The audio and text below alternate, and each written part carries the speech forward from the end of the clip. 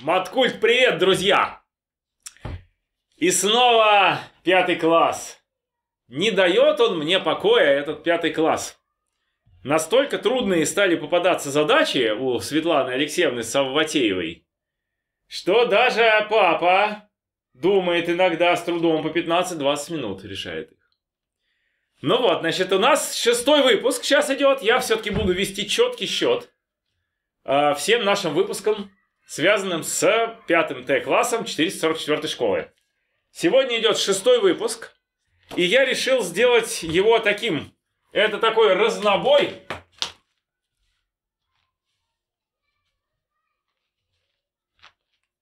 Вот будет слышно? Будет, да? Ну, ничего страшного. Ну что, дети орут, да? У тебя же пятый класс. Пятый класс, да. Там дети орут, думаем, будет ли слышно, но может быть чуть-чуть Я будет. не буду вырезать даже. Да, да, да. Вот. Так вот, как это? Разнобой, но у него, у них есть такие листочки. Пятый разнобой, шестой разнобой. А это мой разнобой. Мой. То есть я взял из разных мест, повыдергал несколько задач, которые мне кажутся классными. И мы их порешаем.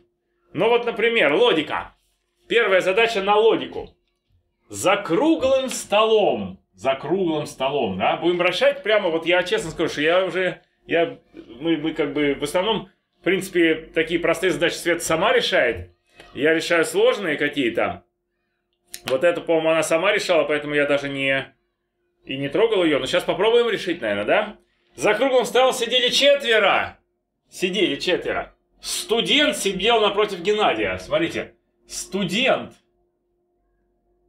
напротив Геннадия.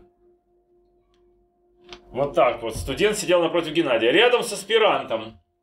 Так, все еще можно... Смотрите. А, все еще можно написать здесь и э, это сделать без ограничения общности. Потому что если... а, если бы аспирант был здесь, мы просто перевернули бы это колечко наоборот и рассуждали бы как и раньше. То есть без ограничения общности можно считать, что студент вот тут сидит, аспирант здесь, Геннадий здесь. Итак, студент напротив Геннадия рядом с аспирантом. Доцент сидел рядом с Василием. Вот начинается, да? Доцент рядом с Василием. Ну, понятно, что каждый из них, он и, как бы это сказать, э, должность и имя. То есть сейчас будет 8 имен и должностей, и нужно будет все разгадать. Доцент сидел рядом с Василием.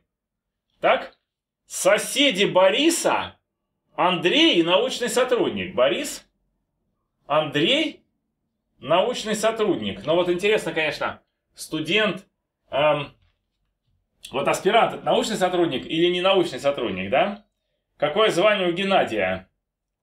Итак, есть студент, аспирант, э, доцент и научный сотрудник. Значит, в этой задаче научный сотрудник и аспирант это разные э, люди, да? То есть у нас есть студент, аспирант, научный сотрудник и доцент. А также есть Василий, Борис, Геннадий и Андрей. Ну вот я уже на самом деле правильную вещь сделал вот в этом месте. Я уже обозначил их. Г, Б, В и А. Вот, нужно понять, кто есть кто. Нет, а, нет! Нужно только узнать, какое звание у а, Геннадия. Вот, звание Геннадия. Итак, мне не всю информацию нужно узнать, хотя, может быть, это и получится сделать. А нужно узнать, узнать Геннадий, кто он. Кто. Ну вот давайте решать, прямо вместе решать, потому что я реально не помню. А, ну, ставьте на паузу, если вы хотите сами подумать и порешать. Ну и давайте подумаем. Итак, студент а, рядом с аспирантом и напротив Геннадия. А доцент рядом а, с Василием.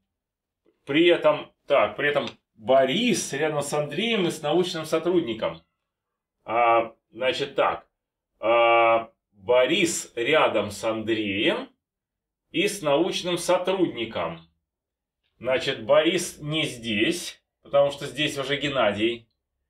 А, Борис может быть рядом... Так, ну давайте попробуем решать так. Пусть Борис там, где аспирант, да? То есть пусть аспирант Борис. Тогда у нас должен быть Андрей студент и научный сотрудник Геннадий, потому что, э, ну, потому что здесь студент, научный сотрудник и студент разные. То есть, если Борис рядом с Андреем, то Геннадий научный сотрудник.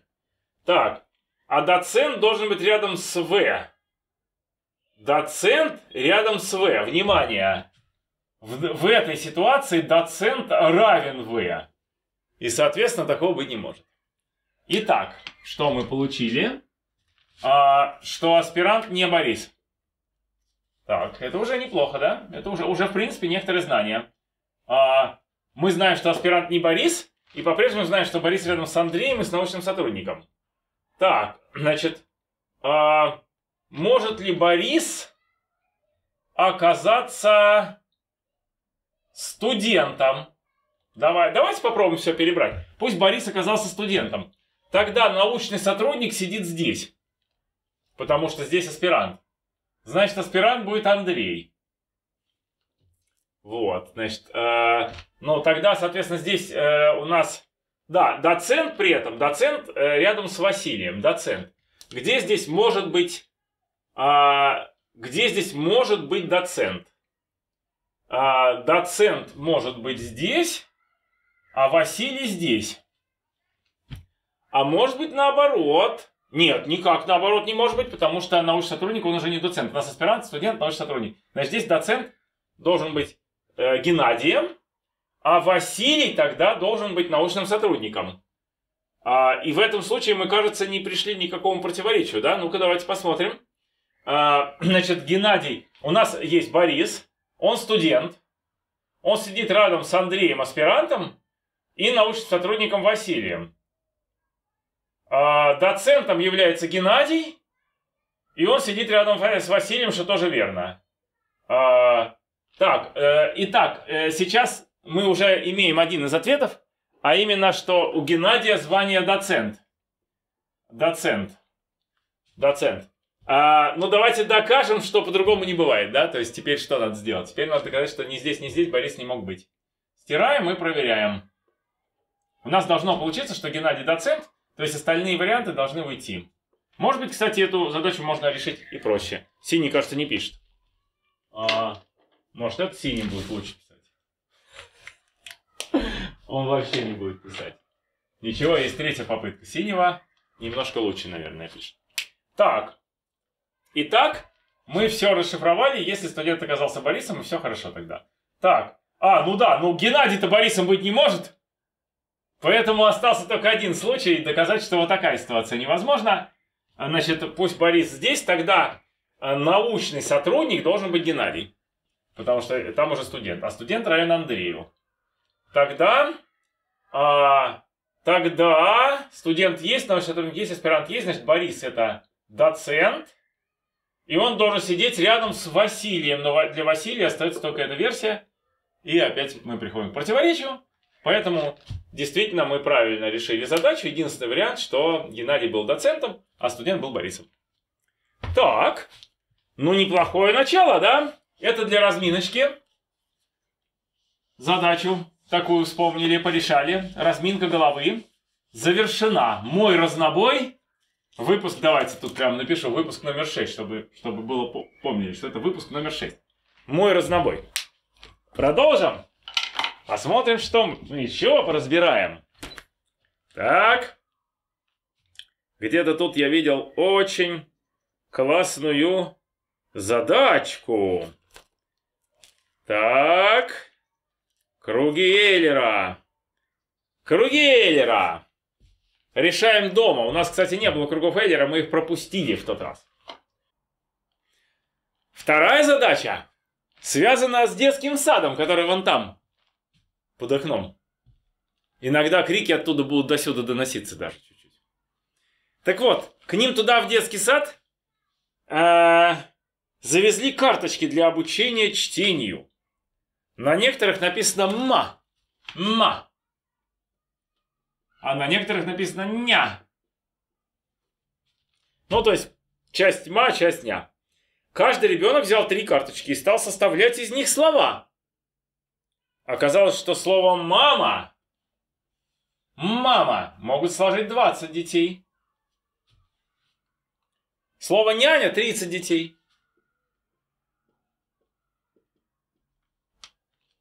А слово «маня» – 40 детей. Маня. У скольких ребят все три карточки одинаковые? Вот такой неожиданный вопрос, да? У скольких ребят все три карточки одинаковые? Ну, давайте попробуем решить. Давайте прямо в процессе решать. Ну, говорят, что это задача по теме круги Эйлера. Я вот никогда до конца этого не понимал, как их использовать, эти круги Эйлера. Ну, может, попробуем, может, сейчас получится. Вы нажимаете на паузу. Услышали про круги Эйлера? Значит, соответственно, можете нажимать на паузу и пробовать решить. Ну, а теперь мы порешаем. Итак, эм, смотрите. Три карточки могут быть четырех разных видов, да? Одна карточка может быть двух разных видов. Э, ма или ня. Две карточки могут быть трех разных видов, а три карточки четырех. Все три ма, две ма и одна ня. Две ня и одна ма. Ня, ня. И, наконец, три ня. Вот. Ну и вот моя рука прям хочет тут написать x, y, z, t. Но давайте я пока не дам ей это сделать. Попробуем без букв решать. Итак, слово «мама» получается у 20 детей. А у кого получается слово «мама»? А вот у кого. Согласны? Слово «няня» получается у 30. А это там, где две карточки «ня» существуют. О, так, ха-ха. Значит, смотри, мы, смотрите, мы уже знаем, что всего 50 детей. Потому что, ну да, у каждого либо мама, либо няня. Получается, если по три карточки каждый взял, да, то, во-первых, если взял по три карточки, значит, одновременно мама и няня не могут получиться, потому что для этого нужны четыре разные карточки. А с другой стороны, из трех карточек, по крайней мере, две карточки будут одного вида, и тогда получится либо мама, либо няня. Поэтому точности все, все вот, вот эти плюс эти, да, это все дети. Ну, мы так и видим. Но еще мы знаем, что Маня получилось у 40 детей. А у кого получается Маня? А вот у кого получается Маня. Ну вот я даже не знаю, Эйлеры это круги или не Эйлера. Но ответ уже очевиден, потому что а, вот здесь 40, а всего 50. Значит, соответственно, получается, что а, когда я выкину всех, у кого получается мания, а это эти и эти, то останутся как раз те, у кого все три карточки одинаковые. То есть таких 10 детей. И это ответ. Ну вот. Дети погуляли и, кажется, ушли спать. Или обедать. Поцарилась тишина. Или решать задачки. Или задачи вот эти решать, точно. Сня и ма. Прекрасно. Ну давайте это все сотрем. Тут все очевидно пока совершенно. Две доски используем, когда что-то будет сложное. Но тем не менее, красиво, да, такая чисто задача на логику. Классическая. Типа, в покер учат играть. Ну да, в покер, да? Покер там другие, там тервер идет там какие С какой вероятностью флеш-рояль? Больше, чем э, каре или меньше? В какой-то момент правила изменили, когда посчитали, что флеш-рояль менее частая, более редкая комбинация, чем э, покер. Раньше был, ой, чем каре. Раньше был каре, потом покер. А флеш-рояль до этого. А потом вставили между покером и каре флеш-рояль. Ну, покер-то самый невероятный, а вот эти вот, значит, соответственно, их по-другому пересчитали. Это мне рассказывал кто-то из моих учителей. Теории вероятностей. Так, ну и, наверное, давайте вот что еще мы в этом выпуске про четность поговорим. Четность мы пропустили. Про четность бывают очень прикольные задачки. И там э, можно будет сформулировать некую как бы общую концепцию. Про четность можно сформулировать. Мы, правда, когда в шахматы играли, там уже была эта четность. Не в шахматы играли, а шахматные задачи решали в одном из выпусков. Вот, так что же, давайте решим три задачки про четность. Задача. Артур перемножил 17 целых чисел и получил 1025.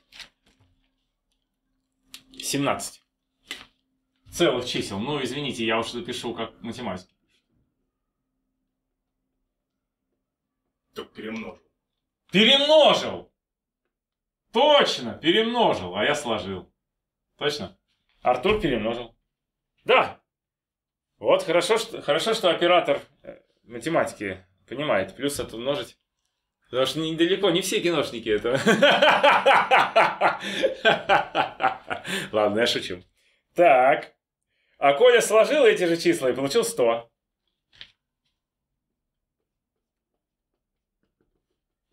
Вот так вот. Равно 100. Что вы думаете, надо доказать? Что кто-то из них ошибся. Доказать, что этого не бывает. Вот. Чё, черный мне немножко перестал нравиться. Он только что хорошо писал, стало плохо. Но может быть будет другой черный, который будет писать хорошо. Ну что, давайте ставьте на паузу и думайте, почему кто-то ошибся. А пока вы поставили на паузу и продолжаете думать, э, нет, точнее, когда вы уже от, от паузы отставили, э, и, например, не решили задачу, или, например, решили, наоборот, задачу, я хочу сформулировать следующее универсальное правило отчетности и нечетности, которое вы должны знать наизусть. А сумма нечетного количества нечетных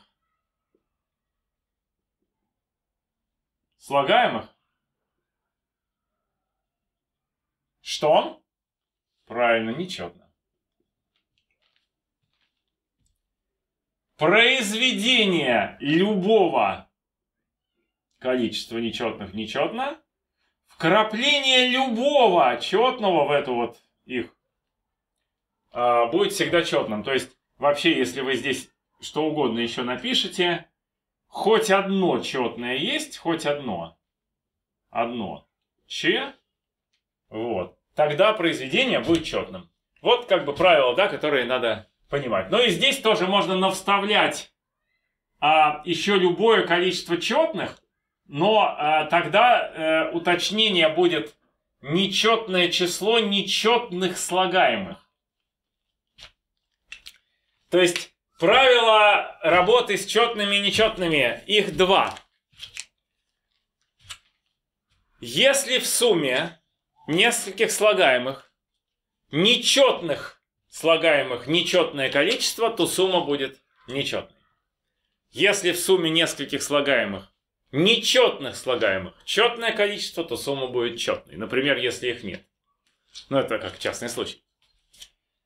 Произведение любого количества нечетных чисел нечетно, но вкрапление любого, в люб... вкрапление одного четного числа в произведение немедленно превращает результат в четный. Все, вот если мы это знаем, то все задачи такого вида мы будем решать очень быстро. А именно, что следует из вот этого вот равенства? Из этого равенства следует, что все они нечетные. Потому что появление хотя бы одного четного превращает результат перемножения в четное число. А так как результат перемножения равен 25, то все они были нечетные. Но тогда у меня внизу происходит сумма 17 нечетных слагаемых. 17 нечетное число. То есть в этой сумме нечетное количество нечетных слагаемых. И значит, она никак не может быть равна четному числу 100. Вот и все. Давайте закрепим это правило. На самом деле, можно было бы даже выпуск назвать так. А, разнобой с выходом на чет нечет. Ну, пусть уж будет. Пусть уж будет мой разнобой. Но про чет нечет я хочу закрепить. Так. Можно ли числа 1, 2, так далее, 21 разбить на несколько групп? Так чтобы в каждой из них максимальное число равнялось сумме всех остальных. Неплохо, да? То есть у вас есть числа 1, 2, так далее, 21. Нужно их каким бы то ни было способом разбить на группы. Например, 21, 5, 6, 10, да? Какие группы? В группе? В каждой группе максимальное должно быть равно сумме всех прочих. Ну, пока я не вижу никаких причин, почему бы это было нельзя, да? Например, 7, 3, 4. Пока все удается, да? Максимальное число равно сумме остальных. Ну, давайте представим себе, что так удалось сделать до самого конца, и вы нажимаете стоп. Сейчас какой-нибудь еще напишу, 17, например, это 8 и 9. Пока нет повторов? Нет, вроде нет. Ну, допустим, получилось, да? То есть сейчас надо доказать, конечно, что это нельзя, да, раз так формулируют. Вряд ли там мы сейчас придумаем какой-то способ. Но давайте думать, почему это нельзя. Какая сумма вот здесь? Здесь сумма... Да, нажимайте на паузу, хотел сказать. Ну, уже поздно. Потому что я уже дал подсказку. Сумма здесь равна 14, сумма здесь равна 21 умножить на 2. А это 7 2. А сумма здесь равна 17 на 2. То есть, вывод, э, что если бы это было возможно, если это возможно, то в каждой группе сумма чисел четна, ибо она равна дважды максимальное число. Удвоенному максимальному числу равна. Раз по условию в каждой группе должно быть максимальное число равно сумме всех остальных, то при суммировании в ней чисел получается, что в каждой группе будет дважды максимальное. Ну, дважды это четно. Вот. Поэтому у меня получается, что а, четная плюс четная, это сумма всех чисел, она вот должна вот такой вид иметь.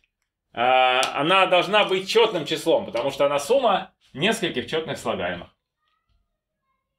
Но сумма-то какая? 1 плюс 2 плюс так далее, плюс 21. А вы умеете такие суммы суммировать? Ну ладно, наверное, вы-то умеете. Но, может, не все умеют. Может, здесь смотрят совсем мелкие дети. Тогда, чтобы просуммировать это, нужно записать внизу то же самое, только в обратном порядке. Вот так вот. Вот, и тогда у меня получается, что двойная сумма 2 умножить на x, x равно сумма, а тогда 2 умножить на x равно 22, плюс еще раз 22, да, то есть я вот так вертикально суммирую. И еще раз 22, итого 21 раз по 22. Вот, а значит, сама сумма равна 1 второй от этого. 21 на 22. Ну, то есть она равна 11 умножить на 21. Вот к чему я хочу подвести. 21 умножить на 11. Ну, все, противоречие. Четное число равно произведению 21 умножить на 11. Двух нечетных. Поэтому Разбить так не получится.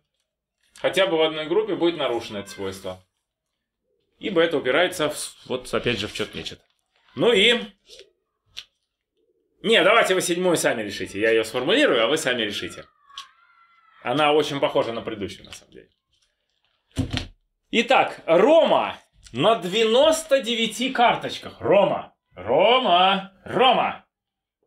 99 карточек. Написал 1, 2, так далее, 99. И перевернул их чистыми сторонами вверх. То есть вот у меня получились карточки там на задней стороне, да, на, на попах у этих карточек написано 1, так далее, 99. Теперь пришел, понимаешь ли, Антон, перемешал их как попало и написал снова 1, так далее, 99. Но уже перемешал, перемешал и написал опять 1, тогда 99. То есть у меня получается что? У меня каждая карточка на одной стороне что-то написано, и на другой. И это числа от 1 до 99. Дальше они с Ромой вместе уже для каждой карточки нашли сумму написанных на ней чисел. То есть для каждой карточки, например, была карточка тут 3, а на обороте 85. Значит, сумма будет 88. Так.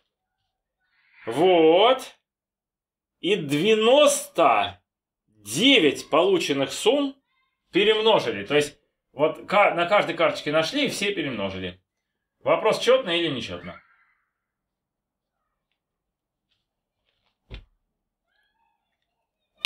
Ну, вы понимаете сами, что так как, как они сделали это как попало, да, и результат должен быть одним и тем же, то ответ у вас уже есть, потому что вот я как попало сейчас сделал, у меня тут 88, на что я не умножаю, получится четное, да?